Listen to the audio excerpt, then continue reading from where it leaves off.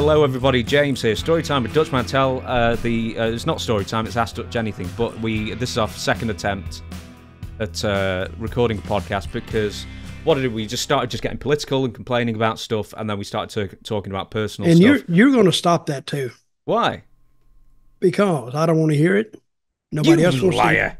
Hey, people listen to wrestling because it takes their mind off the real stuff. You know. But we just sort of just we just got into a rant, and then we just got into whatever, and then we just started talking about everything. Anyway, so it, it I'm sure it would have made a good podcast for everybody who wants to know what's really going on. But uh, You know, the wait a minute. Maybe the people won't agree with us, and then they cancel us. maybe Our hundred and twelve thousand subscribers. nearly 113. It's, it's creeping Really? up. Yeah, it's creeping up. It's creeping up. How, how close we getting there? oh, don't make me look. Probably by the time this comes out on Tuesday, it'll be 113. Oh, that's good. Right. So we'll do the But very then very. we could we could get canceled and start going the other way. Yeah, that's what we don't want. Hey, when they when they withdraw a subscription, is that means your number goes down? Yeah, oh, yeah. Oh, we don't want to do that. No, don't give people the idea to do it. Anyway, you must subscribe. Stay subscribed. Anyway, we'll do the very, very quick plugs. We're on Pro Wrestling Tee, several t-shirt designs, official Dutch Mantell wear, uh, Dutch uh, Mantell diplomas, Dutch Mantell books, all signed. You can get through Dirty Dutch Mantell with two L's at gmail.com. I have Franchise University with Shane Douglas every single Wednesday. Uh, show us the diploma, Dutch, very quickly. There we go. And you get two signatures with that as well. Dirty Dutch Mantell with two L's at gmail.com. They are going out like hotcakes, ladies and gentlemen, let me tell you. And the most important thing, oh, five stars on iTunes if you'd be so kind. And the big thing is questions for Dutch at gmail.com if you have a question for the crafty veteran himself, Dirty Dutch Mantell, which so many of you do clearly. We're getting about 100 questions or so in every single week these days. So, you know, the vast majority won't even get picked, sadly. We try and pick the best ones out of that 100 that week, and they get put to the Dirty Dutchman in Ask Dutch Anything, which is what this podcast is. And this is what Chris C. did. He says, Hey guys, Dirty Dutch versus Harley Race with Terry Funk on commentary is worth talking about just on its own, but I want to specifically ask about Dutch's attempt to kick out around 340. And then he has provided a uh, time code and a link to the YouTube channel, and I think we are going to watch it together. So, one second, and we're going to do a bit of commentary on it. Just, Dutch, just say what you said just before again. Look at that hair. Right, the We're afro. in- Entering the ring right now is the former So, for the audio listeners, this is Harley Race versus Dutch Mantell. Is this the only time you wrestled Harley? He was a seven-time No, I wrestled him one other time. This is in Memphis, but there's a, a big long story about this. You look like a fabulous one in that jacket and that hat. Oh, I'm a handsome bastard. So So this is Pro Wrestling USA. This is the uh, brief uh, uh, uh, working relationship with the AWA in Memphis and Fritz von Erich's territory. I well, think. well, wasn't that's what it was supposed to be. So I'm watching this match. I remember this match very clearly. And I remember that they were putting a tape together for both territories. And they put me against Harley I can figure out why. Funk, for whatever reason, I don't know. But they said that, and I don't want to give you the finish out of this match, but they says that they need the match to go about three or four minutes. And I went, what? Yeah, three or four minutes. And they, you know, these are people who buy tickets weekly. So I go in there and just put the guy over, and you know, that's what you run into. I couldn't convince them otherwise. And I'm thinking, put him over in three minutes. Now, Verne Gagne's there. Is that it? Yeah, that was it. So uh, this is what uh, Chris C also said as well. So you take the stalling vertical suplex, Yeah. and you cleared you. No, I could have, but see, I had two or three territories there where they all combined their talent. Hmm. But I'm thinking, wait a minute. I'm sure there's some talent in the Memphis territory that could do this same thing that I'm doing. And I'm thinking, why am I doing it? Because, you know, I, I was over in Memphis and drew some sellouts, me and Lawler, and you know, I've been on some sellouts there while I was in the main event.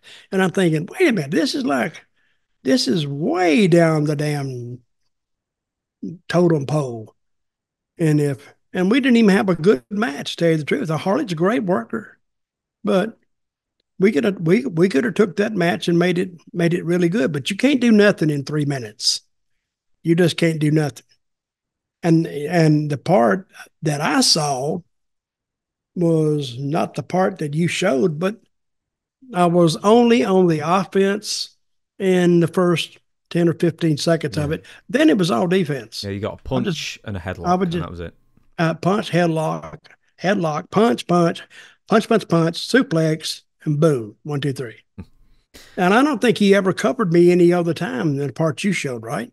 It was one cover, right? Yeah, I think so. Oh no, he um he hit you with a pile driver. You kicked out at two, and then he oh, covered yeah. you after oh, the yeah. suplex. Yeah. Oh, I, I was really strong. See, if you'd have went up and went to the bathroom, you'd have missed the whole match. They said, "Oh, has Dutch been out here yet?" Uh, so I say, "Uh, yeah, he's." Why? It, it didn't go too long. What happened? Well, he got beat. What? did it? Did it affect? See, did it affect your standing with the Memphis fans? Then, do you think after seeing that? Uh, maybe some of them. But see, I don't care. See, to me, it was professionally almost embarrassing and insulting. I mean, it's their company. They're paying me. I got it. He's the world champion. I got it.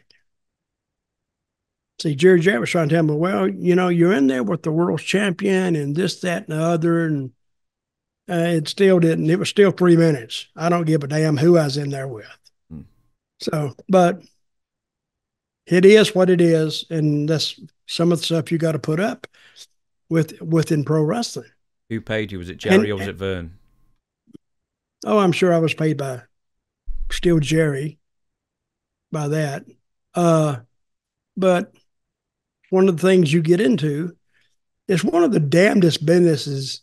Sometimes their stuff doesn't make sense. And I would argue this I would say, why would you take one of your guys in Minnesota? Why didn't you take him out there and beat him in three minutes? But this was in Memphis. It's like the home club. Memphis, and it had a it it didn't have a bad house, but it didn't have a good one either because they just packed everything around the bottom and just shut the bottom. But it probably had 5,000, 6,000 people there because these people didn't know a lot of those Minnesota guys. And and this tape was uh, going to Texas. It was going all over. So if it's the first time people had had seen me on TV. Well, hell, they, they see me getting the crap beat out of me. So I don't mean anything. So, but it is what it is. And I've left that a long time ago. Still doesn't make sense to me today. So, next question. Jim says, I only subscribed about a month ago, so maybe you've already talked about this, which, but I don't think we have in this question. But I was wondering at what point in your life you realised or were told that wrestling matches were predetermined works. Mm-hmm. I once. They are? Oh, go ahead. I wasn't go sure. Ahead. I was going to say Harley Race beat you in three minutes. Was uh, that was no, that a work? No. Oh, it was a work. oh, I think Harley told me kick out right on three. Like that's going to mean something. Okay, Harley, I'll do it. Uh, so uh, Jim says I once asked my dad if he knew when he was watching wrestling with me, and he was like, "Yeah, of course I did, but I wasn't going to spoil the fun for you. Be interested to know what your experience was." Is he asking me or asking you? Oh no, he's asking you. Oh, hey, listen, I I watched wrestling. I guess I was seven or eight years old, and I watched it with with my mother she was the wrestling fan in the family. And she'd get all excited and and somebody would come in, oh, that's all fake. She didn't want to hear that. And I never told her that because I didn't want to get slapped around a little bit. Would you talk? I enjoy this. And we would watch it at like 11 o'clock on Saturday night. And it was from, and the people who are from this area, they know what I'm talking about. Maybe not the wrestling show, but it was uh, WLOS uh, Asheville, North Carolina. I think that was channel 13. And it would come on and it was it'd be a tape from like Raleigh or or somewhere. And my old cohort at Smoky Mountain, Bob Caudle, was the announcer. And I had no idea that go forward, I would be co hosting a show in Smoky Mountain Wrestling, me and Bob Caudle. So, but I could see it even when I was a, even a kid. You know, something wouldn't look right or this, that, or the other. And of course, I never said nothing about it, but I never had any desire to actually get in get into pro wrestling. I didn't have a burning desire to say, "Oh, I'll, I'll get in there and I'll do this and I'll do that." I didn't care. But what got me into it was my oldest brother. Uh, he really he wanted to be the wrestler, not me. So finally, he had some friends. And they all went. One of them was a a welder so they figured out how to get this ring built, and they built the ring, and then got to the had to know how to put the the supports across there, the metal supports. Then the plywood, put it down. Then then they found out how to get a mat. So they got a ring, and then I that's the first time I ever stepped in a ring, and and I I trained. I didn't really train because there was nobody there to train me. I mean, we all knew about what the other one knew. And the first match I ever had, I wrestled in. And I was under the mask, and I forgot what I called myself, something. But, and it was about like 50 people there. Mm-hmm. but we went, went out and we worked our butts off, and we got some of them into the match, but but that's how I got into the wrestling business.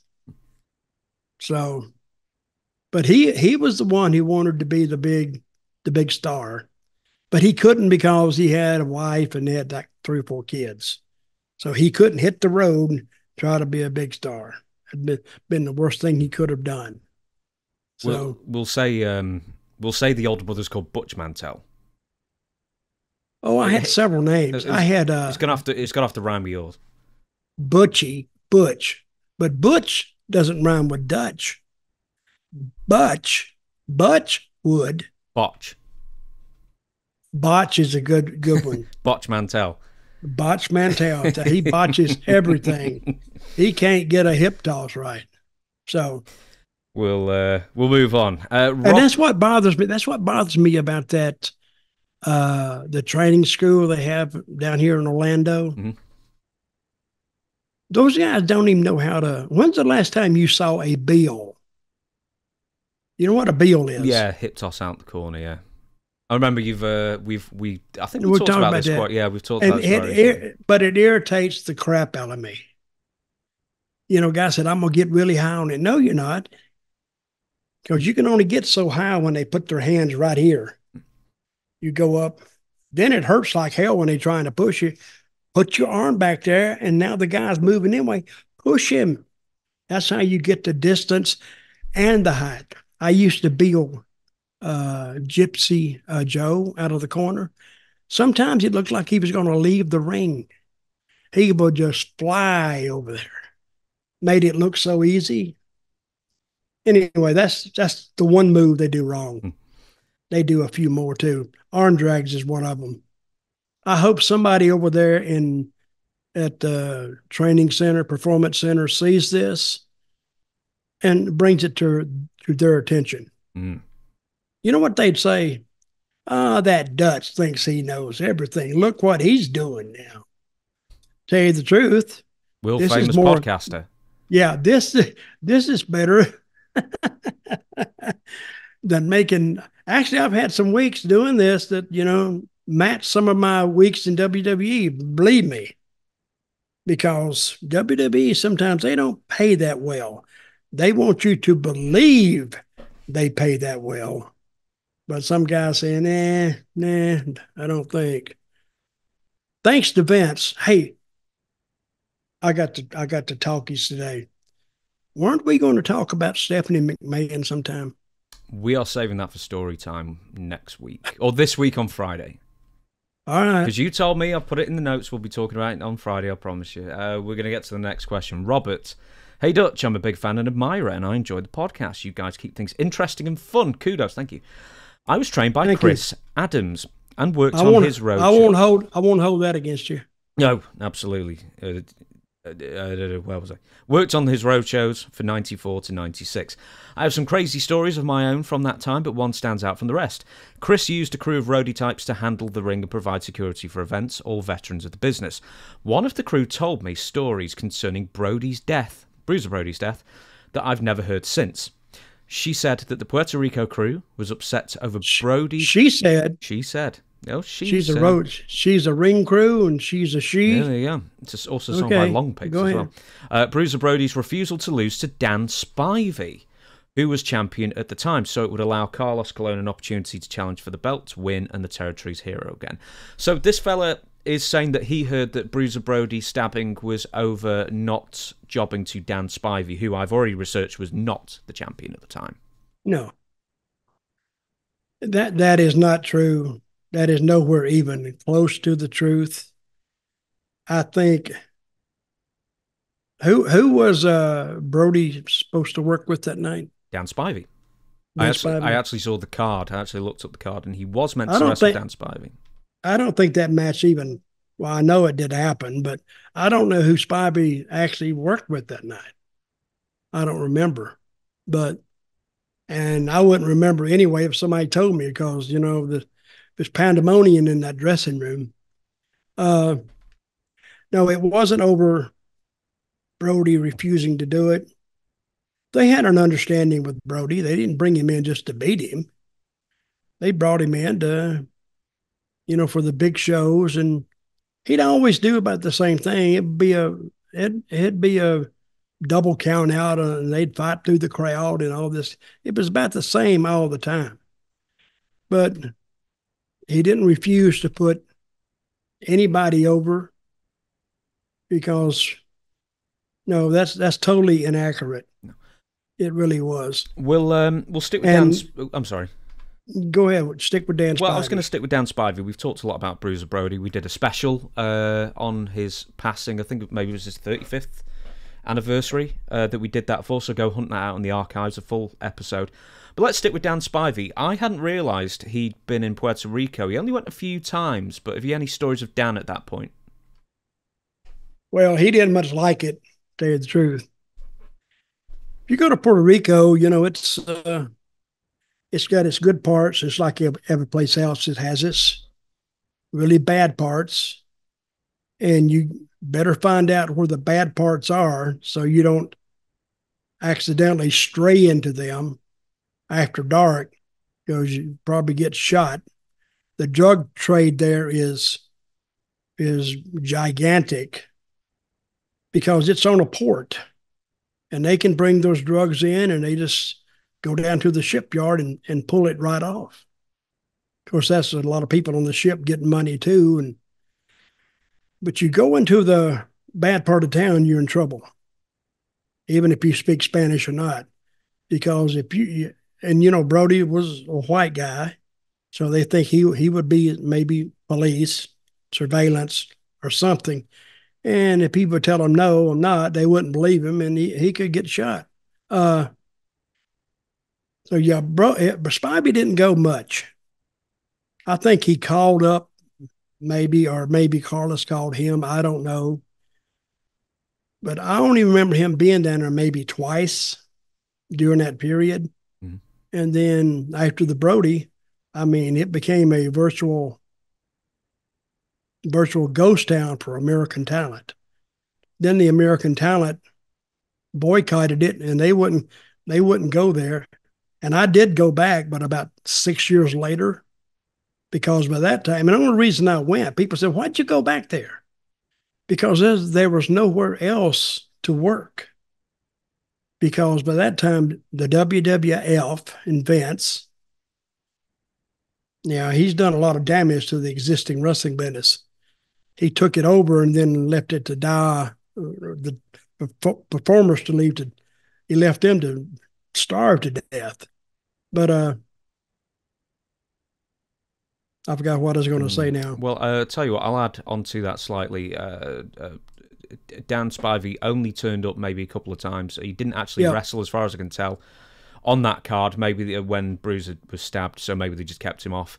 He did tag up with Abdullah the Butcher versus Brody and Carlos Colon um, in probably a week before the Brody murder, and then he actually went back a couple of months after the Brody murder and wrestled and lost to Wahoo McDaniel. Uh, any other stories about Dan Spivey that we uh, that's worth telling? Well, um, I like Dan. He played football at the University of Georgia, which was kind of in my neck of the woods. I was only from the from the campus in Athens. I was only like 60 miles away. So Georgia football was big uh, as Clemson for football fans. Clemson was about 15 miles away. So when they played, and they hadn't played, boy, they, they started back playing here recently, but they were just, they were bangers. They were a hell of a games, great games. But uh, he was a quiet guy and smart guy. But you knew right away that if you got out of line with Spivey, he was a, a, a big guy too. He was about six six, about 260, maybe. So, and he was not very talkative. I mean, he talked to you, but you know, he's not like he's not like you, James. He wouldn't want to monopolize the whole conversation like you do. But and you knew if you messed around with him, somebody was going to get somebody was going to get jacked up. But and he was laid back and quiet. So what's that old saying? You got to watch the quiet ones. You'd have to watch this guy. But he was a really, really, really good guy. We'll move on. Rob. Birmingham, another Rob, in fact.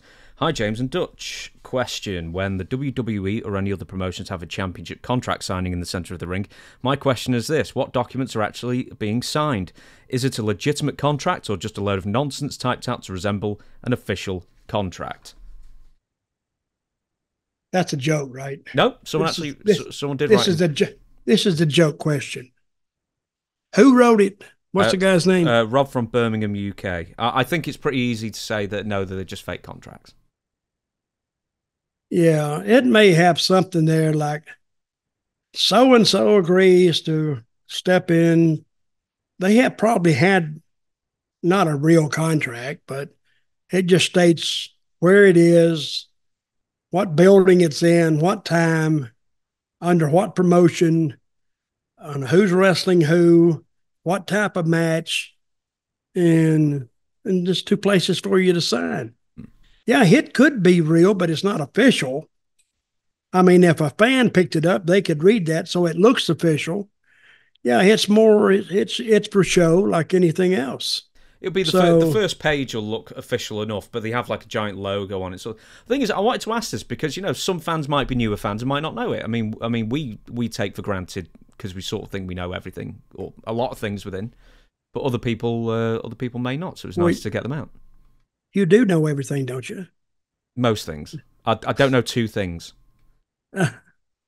Yeah, but it's no, it, it's not official. It is. It could be a, a real contract. They could do that, but that's for if anybody like wanted to be nosy, and it got left behind. Mm. Or, Yeah, or it gets right in the camera. You know, the camera gets a good shot of the front. At least the first page has got to look official enough, I guess. It does. Yeah. It has to look like it is the real deal. We're going to move on. Todd from Columbus, Ohio, USA. Hello, Dutch and James. Hope all is well in your neck of the woods. I'm becoming a big fan of your content and hope you sustain your recent momentum. Thank you very much. Excuse me, I had a massive burp going there. My question is actually for James, since no one ever gets to ask him questions. Oh, okay, it's for me apparently. Other than the wrestlers you maintain regular podcasts with, Dutch RVD, which I don't have a podcast with, and Shane Douglas, who has been your favourite wrestling personality to interview and why? Why? Okay, who do you think my favourite's been? I mean, you must know some of the guys I've interviewed. Oh, that's a good answer. What do you say? No, I, what do you mean? Oh, you asking me? Yeah, I'm asking you. Who do you think it would be? that you know I spoke to? Okay, who, have you interviewed? Uh, like a hundred people. Uh, Of all the guests that we've had, Give, give me, the give me the top. Give me oh, of mine. Uh, of the ones we've had on Story Time, Who do you think? Well, I tell you what, Kenny Bolin was too much. He really was. He talks and talks and talks. You got to shut him up. One not too long ago was Jamie Dundee. Mhm. He was too much. And Ricky Morton was good, I thought. Really good. I like JBL. I thought JBL was great. JBL was good, except you could tell he didn't want to say anything bad about anybody. Yeah. Because usually, if you ride with him in the car, oh, he just rips them a new butthole. Oh my God! I said, would you tell them if they were? Hey, he said, hell yeah. I'd tell them if they said something about it, I'd just yank them out and just beat the crap out of them right here on the side of the road. And riding with JBL is entertaining as hell. I should have bought a ticket. It's like buying a ticket to a, a comedy show because he's funny as hell. He he he really is. Got some great great stories. So, I mean, I I can't pull a story off the top of my head, but he is he's too much. I'll, I'll, I'll give. I'll give. uh, I'll give. Uh, I hate to You know who I like to- answer. Go on. You know who I'd like to have on here? Go on. Ron Simmons. Hmm. Do you think we could get him? I don't know. I'll call him up because he owes me a favor anyway. Why? What did, did you save him? No, not no. I, I can't tell what I did for him. I'll tell you off air. Oh, okay. Well, that's interesting. You interesting. got to you got to promise never to tell. I promise nothing. Um, the the uh, I promise I will never tell. Okay. Uh, uh, to answer your question, Todd, um, if I'm going to be a complete mercenary, I'd say the person who I enjoyed the most was the person who brought in the most views, which would be Eric Bischoff. Which sounds a really terrible thing, but I, I actually did enjoy talking to Eric as well. I enjoy talking to most people. I didn't enjoy talking to the fucking Sandman though. He was awful. He was all right for the first 15 minutes, and then he decided he hated me, and then just gave me like the worst interview in the world. Uh, so I'll never have him on again. why did he Why did he do that? I don't know. I don't know what what was up with him. He just I don't know if it was a bad day or what, but yeah. Was he drinking? It was nine a.m. So probably. Um, uh, I'm trying to think. I, I stay in contact with quite a few people who have interviewed, so I, I don't want to embarrass too many people. I, I'm trying to think who I really enjoyed or like really got on. I remember really getting on with Blue Meanie, Stevie Richards, Johnny Candido, uh, Mikey Whipwreck, Whipwreck, who I just interviewed that will be on soon. I really got on with him. I got on with loads of people. hmm Um, it's tough to narrow it down, but to be honest, quite a lot of them. As far as like people who really surprised me, Greg Valentine You know who was I would like- hilarious. Yeah. You know who I'd like to see you interview? Bill Clinton. No, Hillary probably is better for you. Uh, Tony Khan. God, you see, I couldn't, I couldn't, I just, I just give him grief. Why you couldn't say anything good? Yeah, you've got very nice hair. Uh, you couldn't say anything about AEW.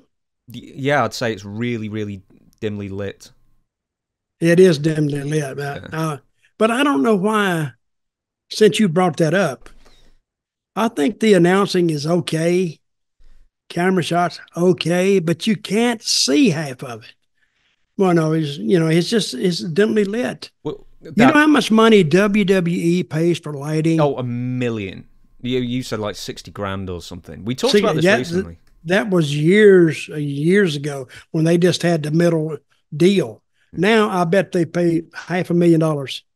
Oh, probably easily. Uh, we uh, we discussed this recently, so we shall move on. And we're going I would just give everybody a flashlight. No, just have it on the phone. Have the torch on the phone going, and then it'd be like the uh, Bray Wyatt thing. So at least it'd be interesting. Right, That would be. we're uh, we're moving on. Craig Tamworth. I believe in the early days there were negotiations to get Vader into TNA. Why did it not happen? And another point is apparently Vader left uh, Japan's Pro Wrestling Noah promotion around this time under mysterious circumstances, but he claimed it was a knee injury. So do you remember ever trying to negotiate with Vader trying to get into TNA? I heard about it.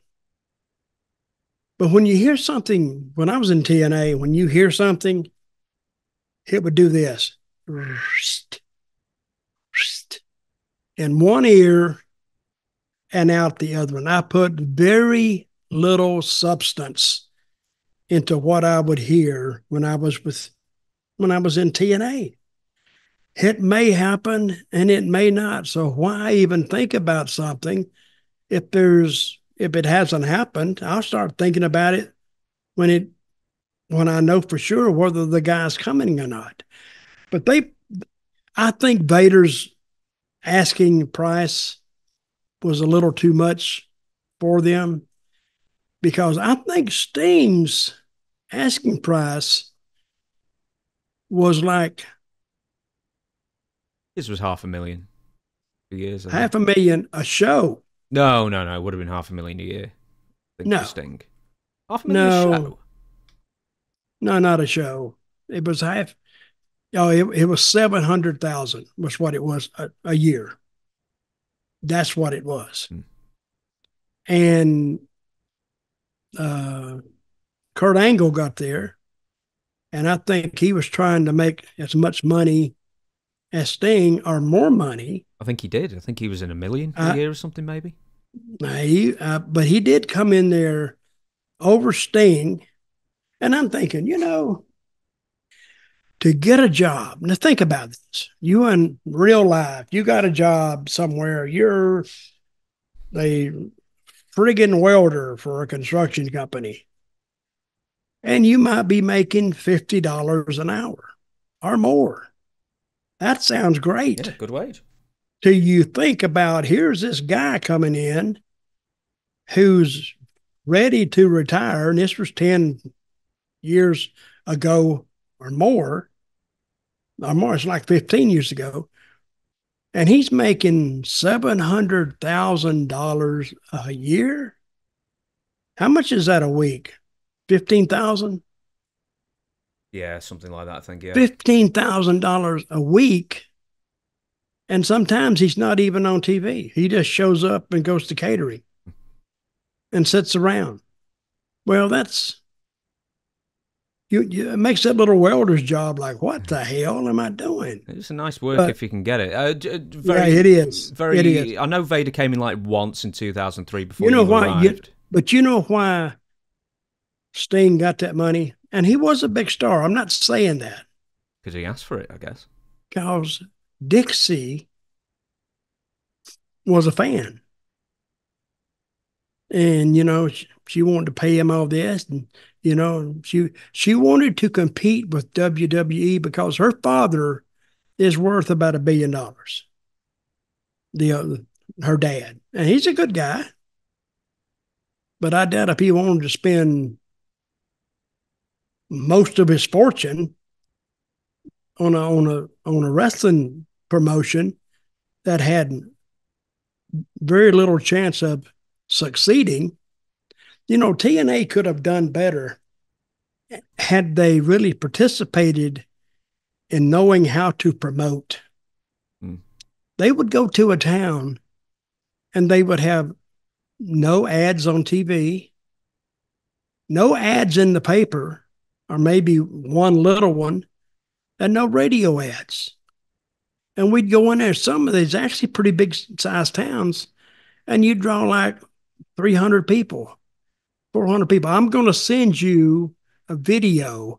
We were in some town in, I think, Idaho. And you think, Idaho, who lives in Idaho? But they had this arena that seated 10,000. So they must have interest in something enough to draw 10,000 people. You know, you got concerts coming through there, but you could sit back and I'm going to show you this picture if I can find it. I saw it the other day. But you could literally sit back and count the people in the stands. And it was, I don't know, I don't, they depended on whatever channel they were on. What channel were they on? Uh, was at it the Spike? start. You, it was Well, Spike. well, it, it- well, originally when they were on, they were on like HD Net or something like that, or like some Fox affiliate, and then I think they went to Spike. But we put it was on Spike, and some of the ratings on Spike was okay. I mean, it wasn't. Some of it was embarrassing, I remember our first show on Spike, it drew like 250,000 people. Oh my God. Dixie called a meeting, and it was like the Pope had been killed or something. It was like, we got to do better than this. We got to do better. It was our first show. And you got to, you got to advertise it. That's what advertising is. That's why I was invented to tell people that they can get, they can see wrestling or they can see a, a show or they can see a race or they can see a football game. You got to tell them where it is and how to get tickets. But they thought that that TV station was going to take care of all that for them. It didn't work. Now, the next week it went up. We got it up one time to almost 2 million. But guess what we got out of it? We didn't even get a thank you. It was, they just went on like, well, it should be better than this. I'm thinking, well, I know you're paying me, but not that much. You, you know, a thank you would be like welcome. And you know what got it to? I don't know if it was two million, but it was well, it was like one point seven hundred thousand, one million seven hundred, or something like that. But guess what got it up there? Awesome Kong. Awesome Kong and Gail Kim. Mm-hmm. We put them in a main event, and they went the last thirty minutes of the show, and they spiked it up there. Then here's the rest of the story. You know, I'm like Paul Harvey. Now, here's the rest of the story. Gail Kim and Awesome Kong had the audacity, listen, to go in and ask Dixie for a raise. Mm-hmm. and I think it, I think it pissed her off. And she didn't give them a raise, so they said, "Well, we got to go." Yeah, I had built the whole thing around Kong the whole thing. And I told her, I said, I want you to be Abdullah the Butcher of the girls. And she went out there and beat the crap out of him. And she was over. Do, do you know any other ways that TNA or Dixie Carter would just throw money away? Because obviously they didn't advertise properly. Uh, uh, you know, not about like the quality of the shows, or you know, they didn't advertise the pay per views, or they didn't. I, I know there was some exceptions, like basically what you booked, Awesome Kong and Gail Kim, Kurt Angle and Samoa Joe, those things. That weirdly, when you booked it, pay per views and viewership went up. but uh, were there any other creative ways that Dixie Carter would waste money? Well, if I thought about it long enough, I tried not to think about her any more than I had to. I, I kind of liked Dixie, but you couldn't tell her. She thought she knew the wrestling business. So it wasn't my place to go in there and say, this is the way it really is, Dixie. What I wanted to tell her is these guys know you got money. They know that. They can smell it. I said, I smelled it too, but till you put a clothespin on my nose, so I couldn't tell it anymore. So I worked for peanuts. So so they go in there and and she would go online, I guess, and go to YouTube or wherever and she'd think this guy's a big star and pay him what he was asking for. Of course, you ask for more money than you think you're going than you're going to get. Hell, she'd give them more money. So they loved her. So when you ask them to do something, oh no, no, no. And some guys there that had worked in the WWF, WWE, when you gave them a finish, they ran it through two lenses because they had plans to go back to WWE. So they didn't want to do nothing in a subpar promotion. And TNA was second or third. Let's say second doesn't exist. It was third without even somebody being second. It was third to WWF. And they wouldn't do anything that would make them like do it, they wouldn't get beat.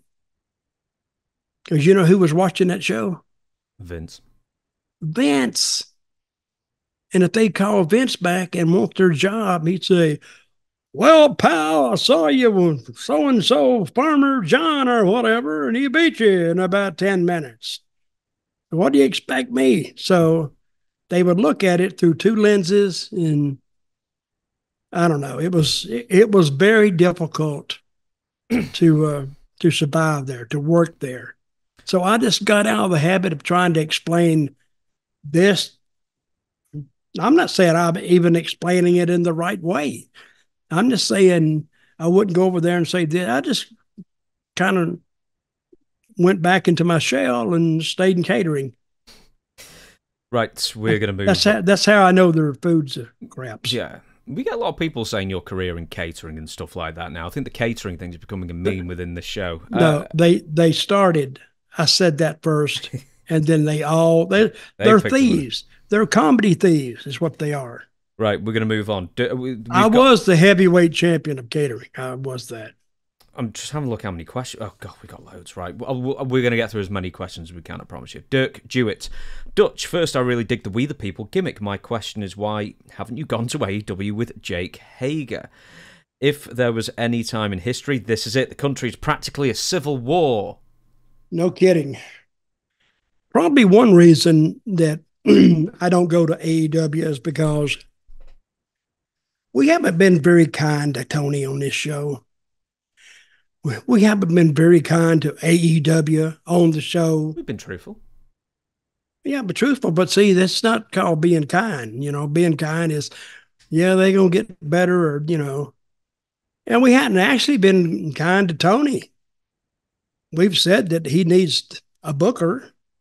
He needs somebody who knows how to weave a story together. And you know what surprises me about AEW is they don't do hardly anything. They do, but not much outside the studio you know, WWE used to go on the road and tell these little stories within the stories. You remember when apparently uh, Steve Austin shot Austin? Pillman. Pillman. Who'd he shoot? Pillman shot. Austin. Pillman. Yeah. And the people, they were so wrapped up in that story, they believed it. Well, USA nearly threw him off for that. And you remember the limousine blowing up? Yep. And everybody believed that Well, because, yes, you No, did. I you over, Come You're on, sitting mate. there over in England thinking Harvard educated is probably the best in the world. What? No, Eton is what's the big college over there? Well, Eton's a not a college, university. Uh, Cambridge. Cam- You- Cambridge, Oxford, yeah. You can have one of them. Yeah, yeah, that that. I didn't go to either of them. No, I didn't. Yes, but but it looked real, didn't it? oh, it was well shot, definitely, and it was very interesting. Then Chris but Benoit ruined it. but but tell me something. But for a sec- second, you went, no, they didn't. Yes or no? No, For us, uh, no, for a a second. storyline. No, not for a second. I knew it was a Oh. storyline the entire way.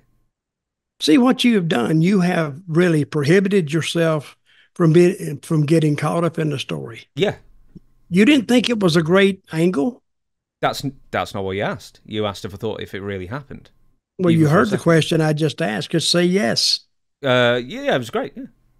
It, it was excellent, but as I said, Chris Benoit then ruined it, and we never got closure on that. Why did Chris Benoit ruin it? He, killed, he the- killed his family and then killed- himself, and then they just had to get rid of the storyline immediately. So we never actually found out where it went. Well, I see. So, well, anyway, Hmm. but he does. Um, uh, let me get back to t- Tony Tony Khan. He shoots very little out of the studio, and if you have a writer to write that stuff, they could go do that the day before, the day of, and weave it together so it makes sense shoot some of it after dark, like somebody's coming to the arena. Some guy's had him arrested. He's barely got time to make it and show him pull up in the parking lot and run in. He don't even have his wrestling stuff on, maybe one boot on. And they have a match. Now people would kind of get with that, I think. I mean, that's just the way somebody is dressed. But the story could be anything. Now, As long as you, as long as it's interesting. because you said the story can be anything, this actually goes to the next question that is also about Jack Swagger, Jake Hager. Uh, Actually, it's from Todd from Oh. Columbus, Ohio again, and he asks. Uh, I'm sure you can agree that uh, Jack Swagger, Jake Hager, has been severely mismanaged in AEW.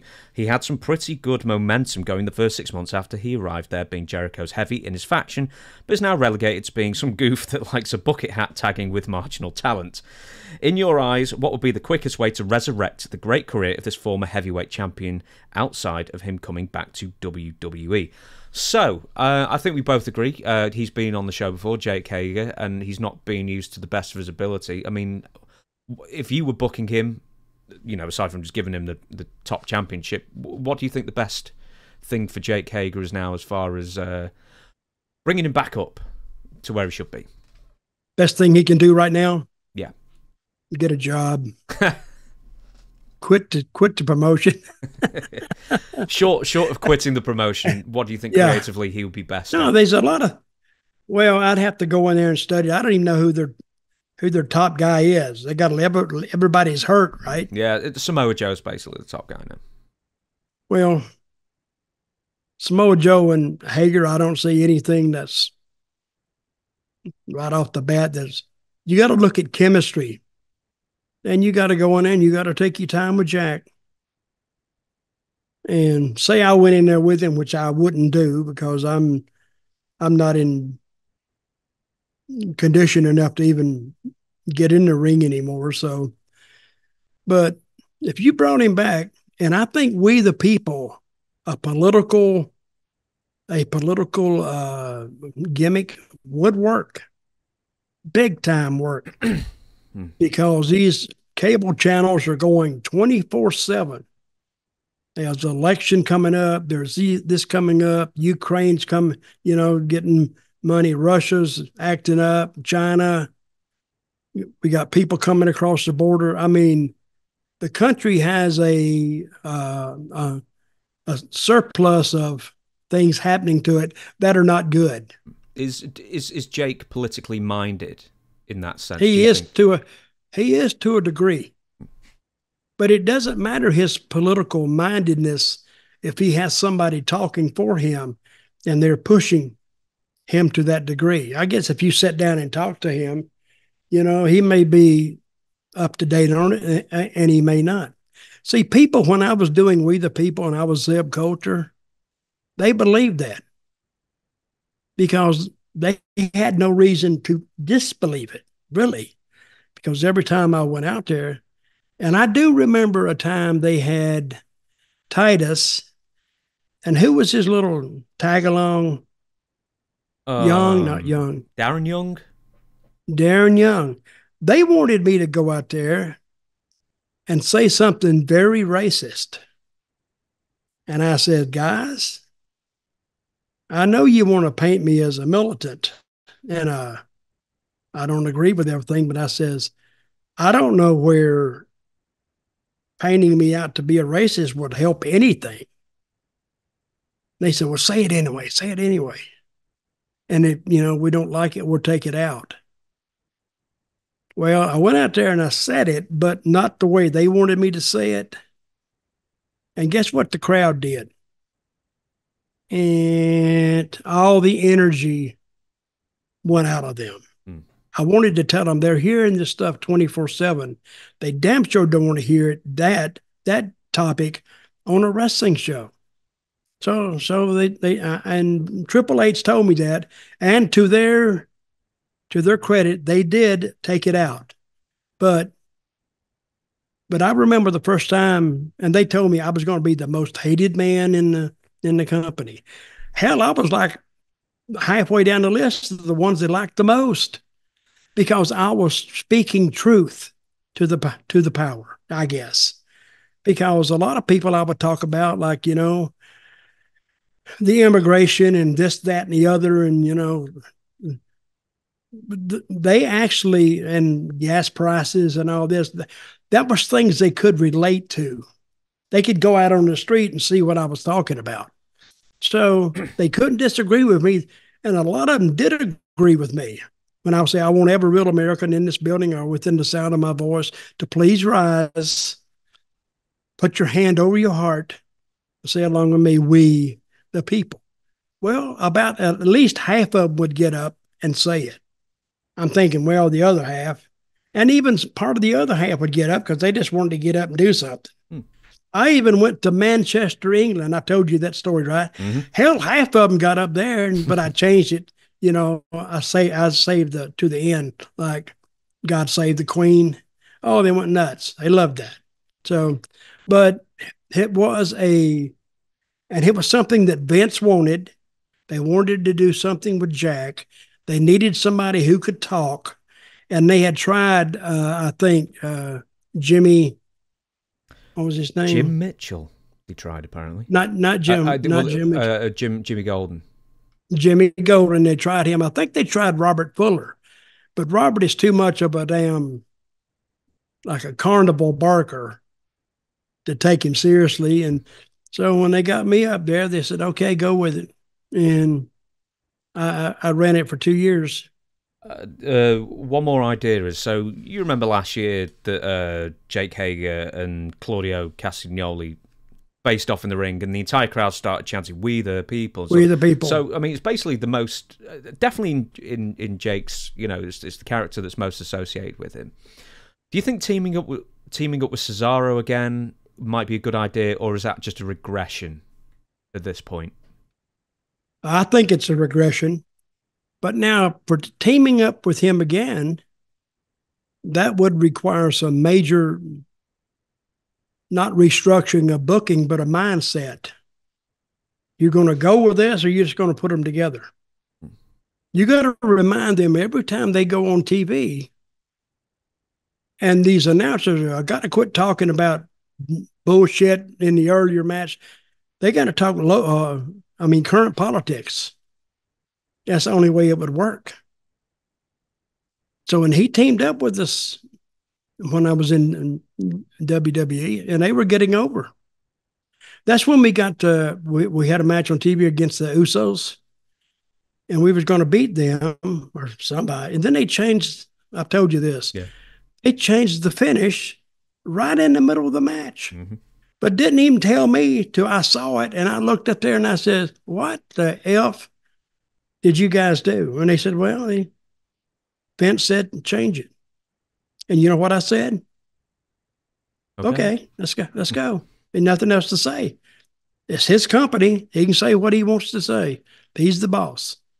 And when I went to the back, I didn't say one word to Vince. I didn't even say, uh, I didn't even say, I wish you'd told me at the beginning because if they told me at the beginning, they wouldn't have a they, they wouldn't have a need to radio us halfway through the match through the referee to tell us change finish. But in in response to that, they were actually good enough pros to really change the finish and made it look good. Next question, Stephen Mackey asks, I don't know if you've got an answer for this actually, but I'll ask it anyway. Hi, Dutch. Were you aware of an issue that John Cena had with Alex Riley when you were in WWE? The dirt sheets reported at the time that Alex Riley lost his push because he reacted badly to a rib Cena pulled on him around 2012. I thought that Alex Riley had the it factor and was a future world champion. He was over after turning babyface on The Miz, but it seemed that after the storyline, WWE didn't know what to do with him. And apparently, Alex, in a later interview, has basically confirmed that a, an interaction with Cena sort of saw the end of his uh, career on top. Do you remember anything about the Cena Alex Riley thing? What year, what year was this? 2012 this was alex riley was in the company another year while you were there so you shared a small time crossover at that point i heard about it i think he remember earlier i was talking that it doesn't take a lot to lose your push not with vince not with him in charge.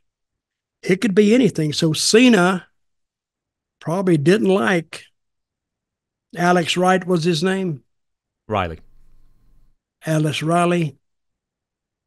So he probably just went and poured his heart out to Vince. Well, we can fix that. They just didn't didn't tell Riley nothing and just stopped pushing him. And probably I don't know if it's true. I, I, Alex Riley will never know if it's true or not, but his his uh, thesis on it or his final thought on it It's probably true because I've seen it done, and I think it was done in this case.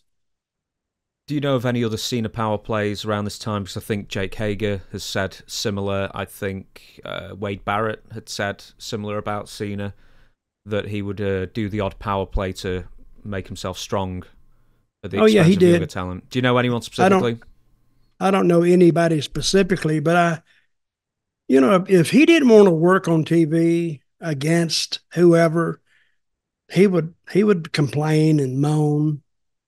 See, he was he was concerned with one thing, and I don't blame him here. This is not a a knock on John, but if he thinks, you know what we showed earlier, Harley Race beat me in three minutes. Well, I brought it up, and guess what was done about it? Zero. But John Cena would just flat out tell him, I'm not doing it. I am not doing it. So I could have done that too, but I could probably been out of a job the next week. But if Cena didn't want to do it, or if he didn't like how I've seen them, see the writers would come up with like to finish how they wanted it to end, and they wouldn't come up with the exact uh like mode or method they want to use. But they say he makes this big comeback and all of a sudden do this and this and this. And then we need something to stop him or slow down. And that's when the talent comes in. And talent said, Oh, well, he can throw a drop kick. I could get out of the way. That's good. That's good. And you work it out. But if if they worked it out before Cena got on the scene, well, he's going to change it all. He didn't like this. He didn't like that. And but in defense of John, he knew he was going to draw money, so he didn't want anything to make him look bad. And if if you could beat him down enough to leave him laying, that means he respected you and he saw money with you. Say The Rock could just beat him up and leave him laying. Well, he could do that because Rock's a top guy, or Roman Reigns is a top guy. But anybody else, no. We need to. He'd say, I think we need to rethink that. I, know, I know, I know. There's no names that are coming to you specifically, but that's something you've seen Cena personally do. Say, nope, not happening, or change it. Have I seen him do that? Yeah. No, I've never seen him do it because this is all behind. See, behind that dressing room door is secrecy. Unless the guy that was in the meeting tells you himself, and he will tell very few people if he tells anybody at all. And it starts with, say, John pulling the rider, and he's I think he had the same rider as Rock did, Gewirtz. They could pull him back there, and it's their business to straighten it out. And it's Gewirtz's business to keep it running smoothly. So he's trying to smooth out the edges. But unless they tell you something happens, you have no idea. How does it fil- how does it filter out then to you guys? Is Say it what just now? how does it filter down to the locker room then? Is it just you know like it happens to somebody in the locker room, someone complains, and then it spreads from there? How do we know? Yeah, Oh, it hit a, hit a leak somewhere. It may not leak that night, but it hit a leak within the next week or so. But mm. who's going to go up and say, John, did you do this? Nobody's going to do that. So what it is, the rumor, and I may be getting the, the rumor, the exaggerated rumor, the rumor grows on its own because nobody has a- a- ever actually went to the source, say Gewirtz or or Cena, and asked him. I know that I know you never talked about it with Jake, but you should ask him one day because he's he said on interviews before that he wasn't ever Cena's biggest fan. We're going to ask a couple more, then we're going to shut down this podcast. Jalen Why wasn't Why wasn't he Cena's biggest fan? I believe say? I believe it's another Cena creative power play. That, No, it is a power play, and he's you know he's he's going he was going to Hollywood. He's going to do this. He was going to do that. I listen. I don't blame him. I really don't because he probably made he had some six or seven or eight ten million dollar years there. Hmm. So it don't take that many years to to really get you straight. So Next question, Jalen Maldonado. Hello, Dutch. I was wondering when was your last interaction with the dead man? Do you still keep in touch? And if you could, would you want to have the Undertaker on the podcast like JBL? Well, I doubt if I could get Undertaker on the podcast because I think his podcast appearances are pricey. has to be approved. I think, and he may want money. I doubt if he wants money. I mean, hell, he's got fifty million dollars in savings anyway. What's he need? Like five hundred bucks? He's not going to do that. but I, I think it's according to how he's going to be portrayed, and has he? He's done a he's done a podcast with Rogan, right? Yeah. It's, So it's a when- couple of levels above ours. Yeah, I'm saying, Hmm. and he he did it with Joe Rogan. So when you get in that stratosphere, that's uh, a pretty big. It's several notches above us. Not much, Oh. but About just $90 million dollars above us. that's it. Yeah. Big big deal. and do I stay in contact with him? I do not stay in contact with him because he's in Austin, Texas, and I'm in I'm in Florida, and I used to be up to three four years ago. I used to be based out of uh, Nashville, and uh, but I did see him walking into Perth, Australia, on a little tape I saw. Was all the talent walking into the building? Okay. Did you see that? No, I've not seen that. Undertaker was like the head of the line. He was just a line of guys, you know, they got off a bus or something. I was saw I saw Triple H in like skinny jogging pants. I saw that. Uh, that may have been him carrying a bag Yeah, yeah, yeah. And walking into the building. Yeah, was he like a like a like a hotel desk or something, or walking past that? No, it looked like an arena to me. Well, maybe it was an arena. I've seen the photo, but uh, uh, yeah. Well, that answers that then. Okay. Uh, we, yeah, we've got time for a couple more. Uh, Garrett Hernandez, Saint Bernardino, San Bernardino, California. Howdy to you, Dutch and Mr. James. Love the show. I look forward to it every week. As you may have noticed, the Young Bucks always have the corpse referee Rick Knox for every single one of their matches. Do you remember anyone ever requesting a specific referee for their matches and why this would be one of their peccadillos? Thanks, keep up the amazing work. Peccadillo's a good word. Is a peccadillo like a proclivity? Something like that, I say. Like Okay. minor quirk. Okay, who's who do the young bucks have? So apparently they've got a referee called Rick Knox who uh, referees all of their matches. Do you remember any talent who insisted on having one referee referee for them all the time? No, not really. The only one I know is Steve Austin and Earl Hebner generally refereed for him. But that's, that's because uh, Steve liked him. Yeah. they'd play cards together and they'd do this and do that and you know and they got along you know they're both country boys and so and uh, you see earl or who who was it what's his brother's name Dave. earl dave Dave wasn't really refereeing, refereeing in the late nineties though, for the most part. He did a tiny bit, but it was all, it was nearly always Earl. well he was he was a level above that i don't know Was they're he, both was good guys? Was Dave an agent as far as not really an agent, but he was. He may have been ref- over the referees. I don't know. Tell you the truth, he never gave me a finish. And, but uh, and what was the question you saying that? Oh, oh, uh, we've already answered it. about special special referee. I don't remember that. No. Okay, so that was a bust. So we'll probably we've still got time for two more. Then Larry Burns. I just watched a video montage about Kongo Kong in TNA. Did you know him? Were you there with him? I thought he was amazing for his size. Do you have any info on him? Thank you, and I love everything both of you all do. Kongo Kong. Do you want me to get a photo of him up? Get a photo. Okay, one second. Right, let's have a look. Uh, la, la, la, la, la. Kongo Kong TNA. I remember the name. I don't remember. I remember him. So who's this fella then? I don't recognise him. I think he's. Uh, I, I looked at before six eight. Yeah, he was a big guy. And he just had very little uh I don't remember I don't remember what we did with him. apparently nothing.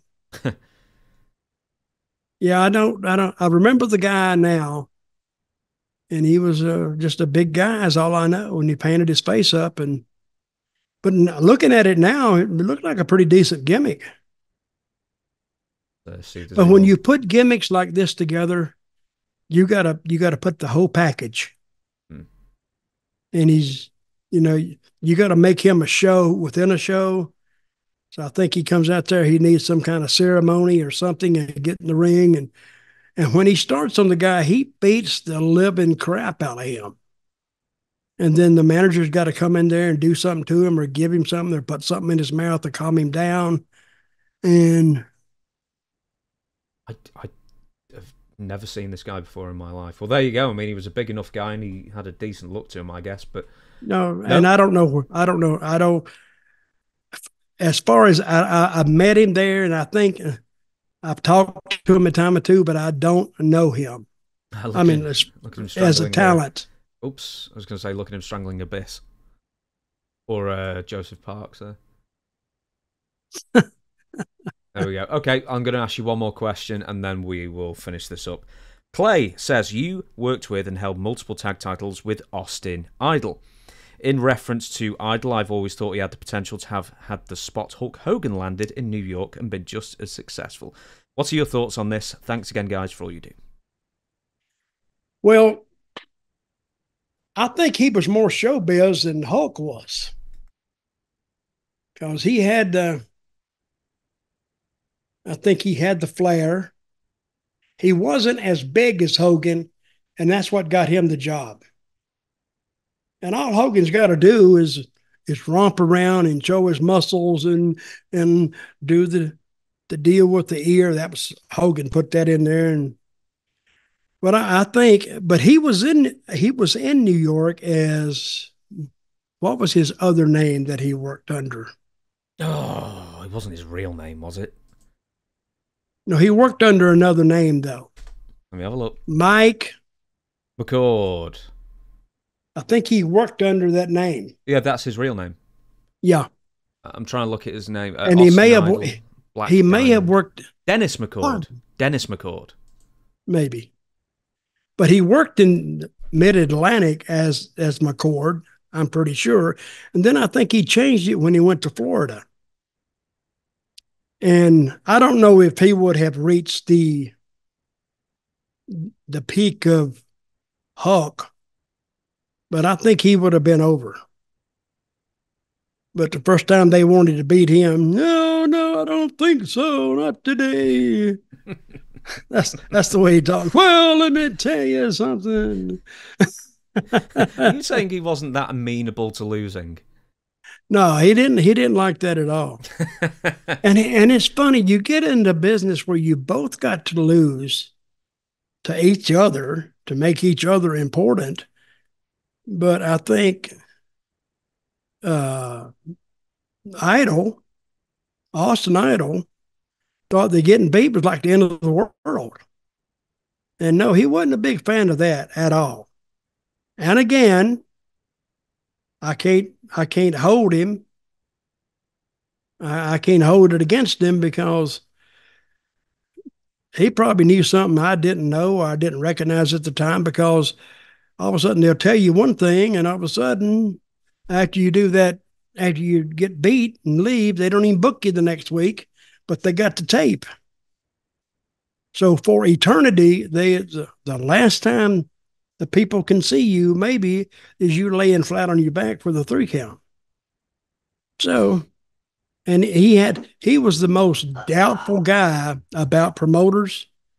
Again, I won't say he's wrong, but every promoter doesn't have to be that way. He's got to have some people that trust him anyway. But I don't think he trusted many of them. Here's a story. Did I tell you this about him in Columbus, Georgia, in a battle royal? Yeah, yeah, we've we've uh, we've got. It's well, a great, it's what, a great story. That is but, uh, a g- great, great story. I've, I've, uh, let me add this then. So, like, if if he was never going to go to the WWF because I suspect he didn't enjoy traveling that much, especially after the plane crash.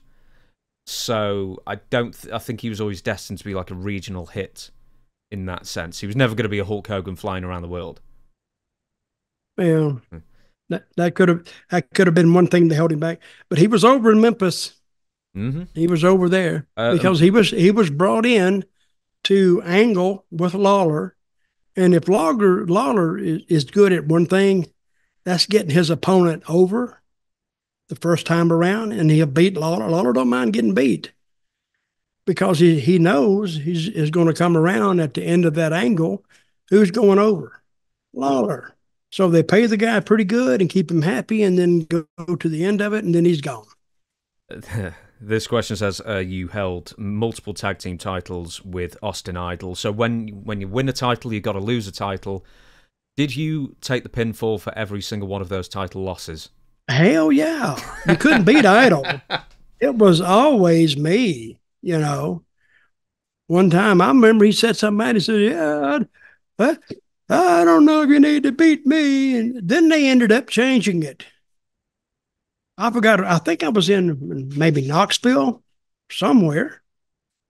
But, and guess what? Old Dutch said, Hey, whatever, it don't make a damn to me. And it didn't really. I think you're as good as what they want you to be. And when you step outside that box, then you can create more of a scene than what is necessary and more of a problem. And I just wanted to dodge all that. So I just go ahead and I forgot where we were that he, he said that. Hey, that's what he talked. Hey, Judge. that don't work for me, Daddy. What? It don't, yeah, don't work for me. Yeah, he'd say, Daddy, Daddy, brother. Uh, he's too much.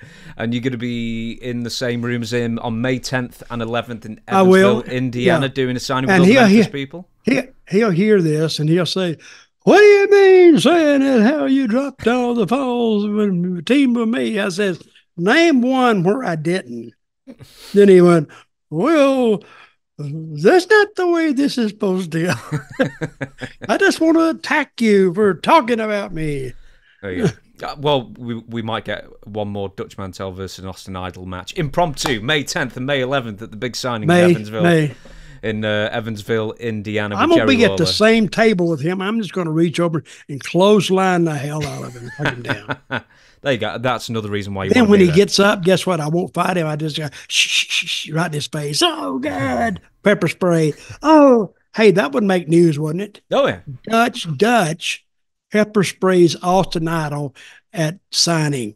Mm. Hey, We that's need something you don't expect. We need the Huh? exclusive footage so we, can post it. Yeah, we do. I'll have the I'll have the camera ready.